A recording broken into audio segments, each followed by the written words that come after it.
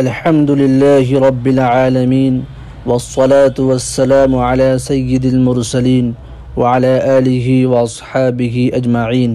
أما بعد، السلام علیکم ورحمۃ اللہ وبرکاتہ حضرات سامعین اکرام، دنیا کی قوموں کا طریقہ رہا ہے کہ وہ اپنے تہوار اور فرحت و خوشی کے موقع پر کھیل کود، ناچ گانے، شراب نوشی اور گھومنے پھرنے کو پسند کرتے ہیں۔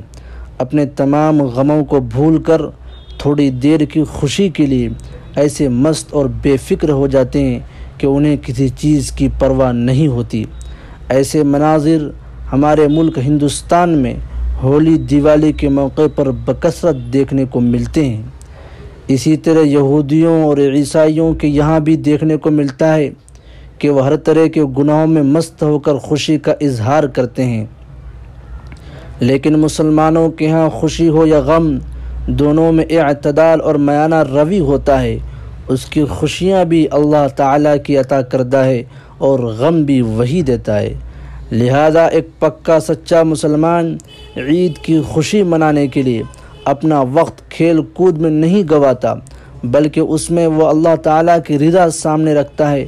اور اپنے عمل و قول سے یہ ثابت کرتا ہے کہ میری خوشی، میرا غم سب اسی رب کائنات کے لیے ہے، جو میرا پالن ہار ہے۔ علیم بذات الصدور ہے، دلوں کی بھید کو جاننے والا ہے۔ اس لیے جب بندہ عید کی صبح نیند سے بیدار ہوتا ہے، تو اپنے ہر ایک عمل کو خدا و رسول کی خوشنودی میں رنگنے کی کوشش کرتا ہے۔ اچانک دل میں خیال آتا ہے، کہیں یہ خوشی میرے لیے تو نہیں یا صرف میرے گھر والے کے لیے تو نہیں؟ کیونکہ یہ خوشی تو ہر مسلمان کا حق ہے۔ آج کی اس خوشی میں بیواؤں، یتیموں، غریبوں، مسکینوں اور معذوروں کو شریک ہونا چاہیے۔ ان کے چہرے بھی خوشیوں سے جگمگانا چاہیے۔ مگر جب وہ محلے میں نکلتا ہے تو دیکھتا ہے کہ آج بھی کچھ لوگ پھٹے پرانے کپڑوں میں ہیں۔ ان کے چہروں پر غم کے آثار ہے، ان کے چولہے آج بھی ٹھنڈے ہیں، کوئی دھواں نہیں اٹھ رہا ہے۔ ان کے بچے آج بھی بھوک سے بل بلا رہے ہیں۔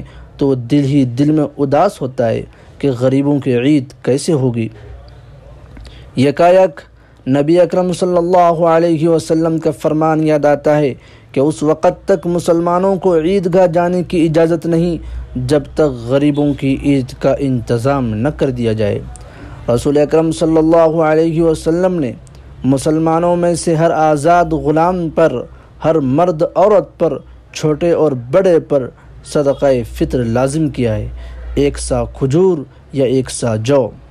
اور حکم دیا ہے کہ صدقہ فطر عید کی نماز کے لیے جانے سے پہلے ہی ادا کر دیا جائے۔ یہ یاد رکھیں کہ اہل وسعت والے لوگ، مالدار قسم کے لوگ، عید کی خوشی کے موقع پر فقراء مساکین کو ایک سا ساڑھے تین کلو کھجور یا اس کی قیمت دے دیا کریں تو اس سے فقراء مساکین کو زیادہ فائدہ ہوگا۔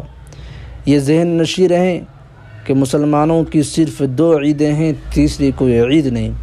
نبی اکرم صلی اللہ علیہ وسلم جب ہجرت فرما کر مدینہ منورہ تشریف لے گئے تو دیکھا کہ مدینہ کے لوگ سال میں دو دن خوشی کے مناتے ہیں۔ خوب کھیل کود ہوتا ہے ناچ گانے کی محفلیں جمتی ہے۔ تو نبی اکرم صلی اللہ علیہ وسلم نے دریافت کیا، یہ جو تم دو دن خوشی کے مناتے ہو، اس کی حقیقت کیا ہے؟ انہوں نے کہا کہ ہم زمانہ جاہلیت سے اسی طرح تہوار مناتے آ رہے ہیں۔ رسول اکرم صلی اللہ علیہ وسلم نے فرمایا، اللہ تعالیٰ نے تمہارے ان دو تہواروں کے بدلے ان سے بہتر دو دن مقرر کیے ہیں، عید الاضحیٰ اور عید الفطر۔ عید الفطر کے دن غسل کرنا، مسواک کرنا، اپنی استطاعت کے مطابق عمدہ کپڑا زیب تن کرنا، صبح سویرے اٹھنا، خوشبو لگانا اور کوئی میٹھی چیز تناول کرنا، ان تمام کاموں کو عید کے دن انجام دینا مسنون ہے۔ کیا عید کے دن گناہوں کی معافی ہوتی ہے؟ جی ہاں رسول اکرم صلی اللہ علیہ وسلم نے فرمایا، جب عید الفطر کا دن ہوتا ہے تو تمام راستوں اور چوراہوں پر فرشتے کھڑے ہو جاتے ہیں اور آواز دیتے ہیں، اے مسلمانوں، رب کریم کے دروازے پر آؤ۔ تمہارے لیے بھلائی کے خزانے لیے ہوئے ہیں اور تمہیں بہت سا اجر عطا فرمائے گا۔ جیسے ہی بندے نماز کے لیے کھڑے ہوتے ہیں، تو ایک فرشتہ اعلان کرتا ہے، آگاہ رہو۔ تمہارے رب تمہارے بخشش کر دی ہے۔ اب تم اپنے گھروں کو گناہوں سے پاک صاف ہو کر جاؤ۔ اللہ تعالی ہم سبوں کو اس دن کی خیر و برکات عطا فرمائے، آمین۔ آخر میں عرض ہے، سبسکرائب کریں، لائک کریں اور شیئر کرتے ہوئے تبلیغ دین کا فریضہ انجام دیں۔